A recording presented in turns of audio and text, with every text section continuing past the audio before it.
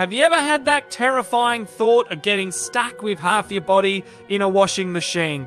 Well, you're not alone. Welcome to Silicon Fears Digital Tears, where we delve into the most irrational and outrageous fears. Today we're exploring the fear of being trapped in a washing machine. Brace yourself for a spin cycle of terror. As I stand in front of my washing machine, I can't help but feel a chill down my spine. What if by some cruel twist of fate, I get sucked into this monstrous contraption? Suddenly, the washing machine transforms into a giant, menacing creature with clothes for arms and a door for a mouth. It lunges at me, ready to devour me in its soapy abyss. The fear is real, my friends.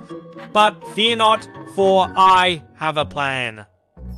I'll distract the washing machine monster with a mountain of dirty laundry. While it's busy sorting through socks and underwear, I'll make a daring escape through the dry event.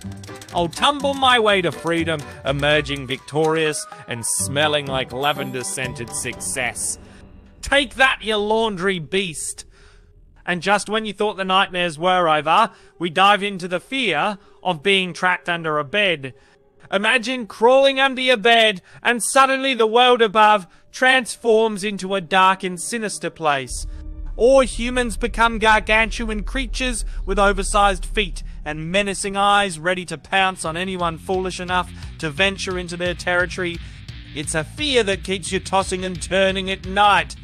But fear not, my fellow bed dwellers, for I have a foolproof plan to escape the clutches of these terrifying creatures. I'll fashion a makeshift ladder out of socks and shoelaces, carefully climbing my way up to safety.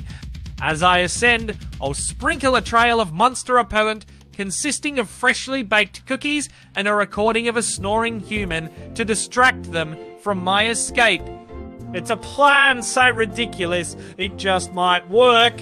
Before we wrap up this terrifying journey, I want to apologize for any sleepless nights or laundry related nightmares this episode may have induced. Remember, this show is purely AI generated, so don't worry, your washing machine and bed are not out to get you. Now, if you enjoyed this twisted exploration of fears and anxieties, don't forget to like, comment, subscribe, and share. Until next time, stay safe and keep those fears at bay.